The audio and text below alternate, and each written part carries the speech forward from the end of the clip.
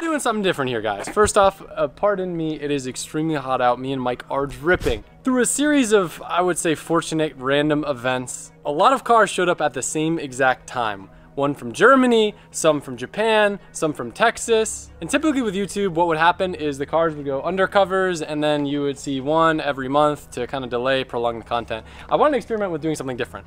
Every car here has an interesting story and I'm excited about for one reason or another. And I want to be able to enjoy them right off rip and I want to be able to start tinkering on them in videos without them sitting on the back burner. So I presented the idea of new car week. Six cars, five days. Every video we're gonna go through a different car and we're gonna set a baseline lap time around the compound. Some are fast, some might be slow, some might not even work, but it's gonna be a good time and this is the beginning of it. Well, it sounds like Adam's coming with car number one. Gotcha. Mike almost jumped. I never make Mike jump, but when I'm in a chaser, which is car number one, Mike jumps because he knows that these things, where they're going, they ain't stopping. It's too hot to talk outside. I'll meet you in the shop.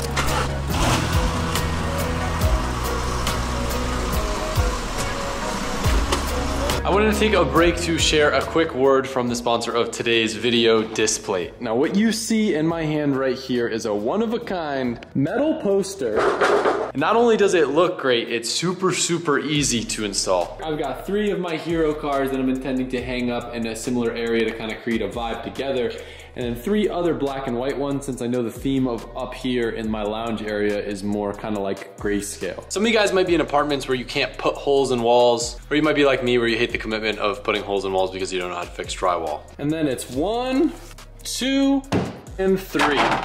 Best part for me, I didn't do any measuring. I just kind of guessed. Because they're magnets now, we can straighten it out, put it at whatever height we want, or even swap it out if you want to try something different. The ease of installation speaks for itself. You can find branded designs, artistic designs, and they're actually printed in Europe and expected delivery time is only four to five business days. I've got my own link in the description. I want to remind you guys when you're ordering a Displate, you are supporting my channel. And with my link, you'll get 25% off your Displates if you buy one or two. And if you buy three or more, you'll get 29% off. All you gotta do is use my code AdamLZ. I wanna give a massive thank you to Displate for sponsoring this video. You guys are gonna love them. I don't want to say we're setting the bar low to start this series, but this is something that you might have seen in the background or you might have seen posted on my Facebook listing. Story behind this car, it's a GX100 Chaser. So this is what my white Chaser started out. It's actually an Avante 2. So it's an NA 2 liter. Uh, the color, I like to refer to this as catfish green because there's so many times I would see these cars pop up at auction and it looks like they're black and they look so sick kitted out. When you look close, it's actually a really cool color. It just always tricks me. It's like a blue green that looks black, but it has like a crazy amount of pearl in it. When people do these kitted up, it looks nice. But anyway, a story behind this car, it was kind of like a tester car. It was one of the first cars we brought over from Japan just to kind of get like used to doing all the paperwork and stuff. Everyone's always asking for a chaser. So this is probably one of the few cars that was brought over with the intent to sell instead of being added to my personal collection. Interior's clean, it's a little old man spec, but the coolest thing in this car, you gotta look under the hood. We haven't touched it at all, we haven't cleaned up a single thing, and it looks like someone FES spec the engine bay. The zinc looks brand new. All the aluminum looks brand new. Uh, the car does have really, really low kilometers. Yeah, so this car has 60,000 kilometers on it, which is, yeah, about 30,000 miles. Yeah. The underside on this car is beautiful too. So this is like the, the prime candidate for someone if they wanted to manual turbo swap a car or if they just wanted a comfortable AC daily. I think I have this car listed for like 10.9. It is still for sale, but there's a chance I might be trading it for another car in the near future, but I'll, I'll put in the description what the current status of the car is. Honestly, I don't see a whole reason to spend a lot of time with this car. The next one, we've actually got two good old Crayola crayons coming up. If you know, you know. With a variety of cars that you guys are going to see in this next week, I wanted to kind of like set a baseline, so I figured this car is probably going to be the slowest around the layout that hasn't been determined yet. Basically, each car will do a lap around a certain layout we define in the compound, and that's going to be the start of the leaderboard that will eventually continue on to the CRX and our guests. Hopefully with this, we can kind of iron out and figure out what makes most sense and what's the coolest to watch for you guys.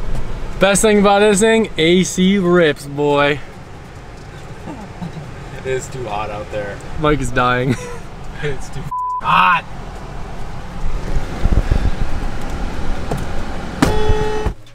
I'm serious with the helmet. It's lap time, baby. you know, the, the first lap time may not be crazy, but I want to get in the habit. You never know what could happen. We've got a lot of gators here that might walk out in front of us. I've set up a mini course. I'm going to call this compound short circuit. I don't like how that sounds. Just because there's so much water, let me show you. If you guys remember where I tested the Evo, did we show the ponds all cleared out? Yeah, we showed that. If you guys remember where I tested the Evo, it was kind of cool going behind Clutch Shop. All this water is going to make uh, the lap times not accurate, so we gotta look out for that. So we're doing the short circuit that basically avoids this.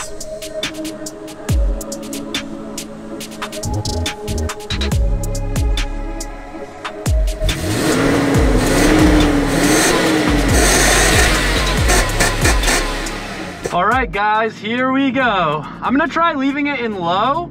I don't think I'm gonna hit red line, but we'll see if I need to do some shifting. Come in, drop a tire. It has great feedback. Little understeery. Try to manage the weight of the car. Coming through the water. Dab the brake. Ooh, little oversteery. Feels good though. Nice feedback. Shifting to second. Coming up on the fast corner. Ooh. All right, she drifts.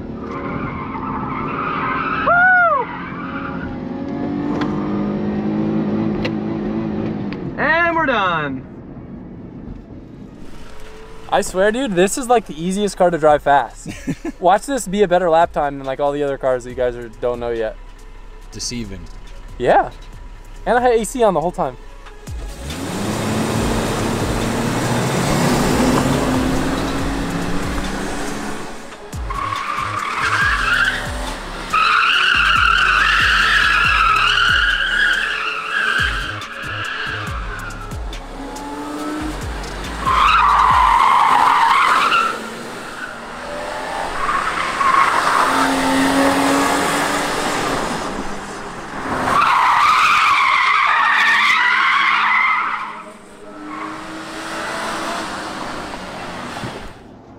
Show Johan what his car can do. Yeah, that good old 2.0. All I hear is tires flying by. I don't hear a car. We'll do the I'm eating lunch. we'll do the whole proper layout. I'll start from the starting line and all.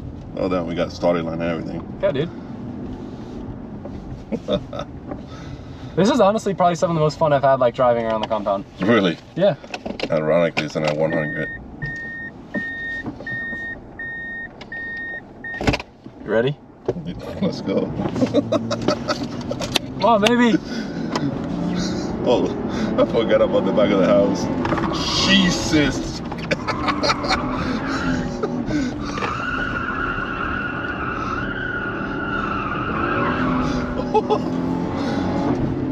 oh, the lake.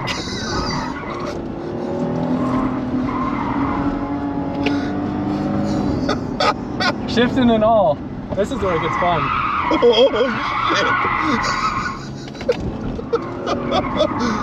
oh damn. She gets down, right? Yeah. that was fun. And we got AC on. Yep. All right, back to lunch. Sick. Watch, I was going back to drill holes on the 32.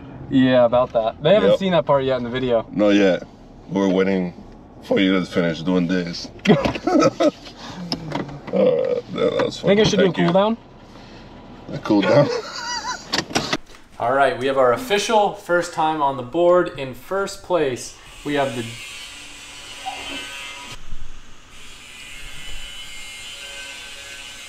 We have the GX 100 with a whopping 3821. 38. Oh, you should let me rid those too. Don't worry, it's. I, I have a good feeling that the GX 100 is gonna get bumped out of first place pretty soon. Okay. oh, you should let me do the line too. I'll do the numbers later. Now, more car things. That was a quick one. I knew that we wouldn't really be filming that much with the GX. So, the fun part, the thing that I've been so patiently waiting for, we have all the pieces back from paint for the R32. Got the N1 skirts. This, I don't remember if I showed you guys, this is the N1 trunk lip that will actually be drilling into the trunk. Same thing with the N1 hood lip. I got the Gannies, all fresh painted. I already showed you guys the N1 skirts, but these just came in, and believe it or not, they're like super hard to find, actually pretty rare and they're weird. They're almost like soft. I don't want to push it because I'm kind of scared to like crack the paint. Poly. Yeah, they're like Yeah. it's like a poly rubber, and these are actually the N1 rear spats. So this will tie in the rest of the side skirt lines and kind of replace this and make the rear end come down lower.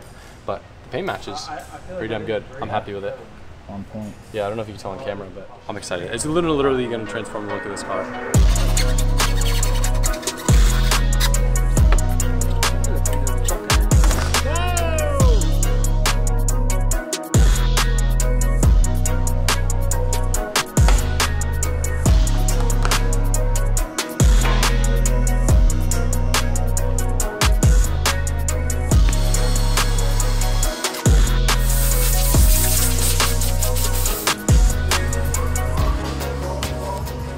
Getting ready to fit the uh, rear spats on, and one thing that is really important to me is making sure that this area doesn't get destroyed by rock chips. So I'm gonna put a little bit of clear bra on before I mount it. That'll also help the bolt holes from not digging into it. Then I'll walk you through kind of my process for 3Ming this area to make sure it sticks and still looks good. we're going through all these Japanese instructions. We're trying to, you know, be OEM plus and all that. So we cut the the man himself OEM plus kin, and we ask him for input on this weather stripping, which like lays in here. And to some people, it will be like OEM plus extra.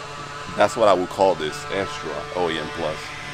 But the man himself didn't put that on. And He put it on one car and he was having issues with it. So we laid it on the car just to see if we could get it on and be like above OEM plus, better than Tommy, because like it'll be tight.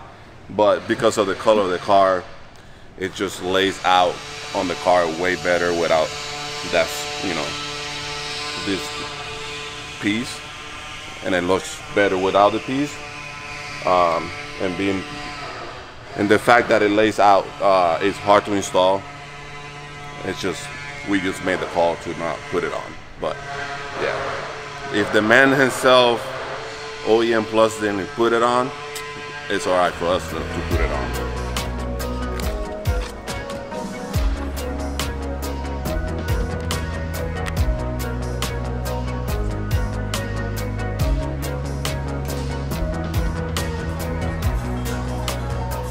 always hit whatever I'm using 3M on with a heat gun just make sure the 3M is like kind of hot and sticks. But a trick is when you're having a hard time peeling the edge, if you hit it with heat, it'll actually shrink the red back and then it's a little bit easier to lift. Let me see if I can show you. This isn't doing the best job of showing. Just take my word for it.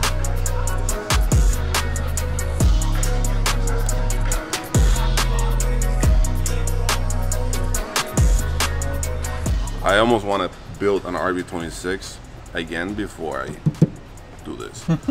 um, they gave us templates. We cut the template out, and then you kind of have to reverse one of the templates to use it on the right hand side. So I'll just trace the back line to the front, and it tells you to follow this line. This dot here is reference to you from the factory line uh, hole that was here already. You use all those points to then mark your points of drilling. And then this right here flops to the back. So according to these pieces, this line and this dot down here, everything lines up, but it's nerve wracking because we're about to drill into the quarter panel of the car. but this is the proper way to do it and we don't want $2,000 side skirt flopping off in the highway when he's going 200 miles per hour. All right, so we got the rear spoiler slash duckbill style wing, which I don't It's a rocket bunny. rocket bunny. I love rocket bunny on any car. Favorite thing. favorite thing. This one's kind of low though for his my liking. You know my dad's car actually has one of these? Really? Yeah. Damn. So I like that it came with templates. Right. So if you see it has notches for the factory wing. So this Nismo wing hugs slightly the factory wing, which goes there. But then it came with templates. One template goes right here, and this one goes there, and then the drill mark. And then it gives you a measurement on the paper where it tells you the distance between this hole to this hole, hmm. the spread. So then once you have your templates in place, you could confirm that that's in the right spot. The one thing I noticed is maybe it might be the tape is cheap, but cars that are coated, ceramic coated, the masking tape will not like to stick to it. Yeah, that's So yeah, so we use the same style template to mark our holes or where there will be a drill. Then I use a center punch to get our markings like a dimple where the drill bit will grab into. Now I'm using a different style drill bit for this, which will work perfect for that. Um, the instructions call for a 8 millimeter hole, which is in conversion to inches, it's like a 5 16 drill bit. You can use the normal style drill bit, but what I would do is instead of doing this, going straight to the same 8 mil hole, start off with like 1 8 inch drill bit and then work your way up to the 8 mil. You're not going straight from the panel to a just the 8 mil hole. Yeah. And it'll keep it accurate too. But this drill bit has like a spring loaded thing on there, so you go on the panel center punch. The dimple will help it keep it in, in, in place and you slowly go with this, push in, and yep, here goes mine. You drill.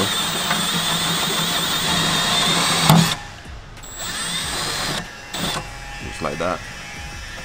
That's yeah, a really. clean hole. And you do it two more times, and yeah, new drilling into a seventy-five thousand dollar GTR R32. You think that's what it's worth? Probably. I mean, it's a nice car, one of the cleanest cars. Yeah. I mean, Tommy would probably agree. I think that's fair. It's like a hole saw, but it doesn't shake like a hole saw. Then the kit comes with the clips. It's OEM style clips. When you put them in, actually, I like to deburring tool hmm. that to clean the rough edges inside so that the clip actually grabs on pretty good. It will go in and then clips on, and it has an adhesive slash seal that will go against the body, and as you put it on, it compresses and Now we check to see if it lines up. yeah. But once you put it Um, on, is it impossible so- to take it off? John. Well, You could probably yeah, rest it. You I could probably wouldn't. rest it in place without pushing it in all the way, right? right. That looks like it's good. Sick.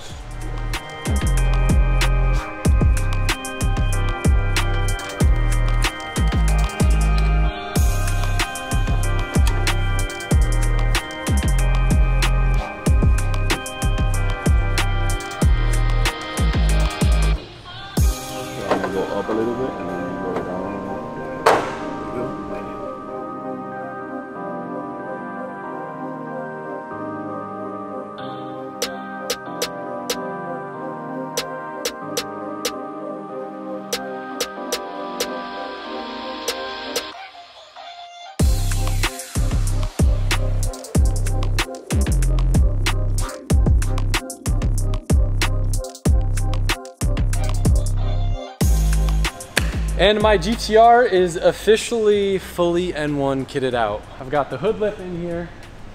Looks sick. The Ganadors, which was badly needed. My other ones were rough. The N1 skirts, the N1 rear spats that kind of tie it all together. I love it just because it makes the car literally look like this much lower. My spoiler's repainted. I got the N1 trunk lip.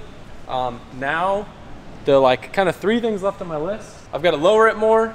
I got a new badge that I'm gonna put on after I can get Jeff to polish it when I take this badge off. The N1 headlights, and then this car will look exactly like I want it to, especially after I get my new wheels that I'm having rebuilt for it. First video of New Car Week. The next video is gonna be a good one. There's actually two new cars that are getting revealed in one video. Make sure you watch it, and I hope you enjoy this one. Let's go. Come on, baby. Oh, I forgot on the back of the house. Jesus.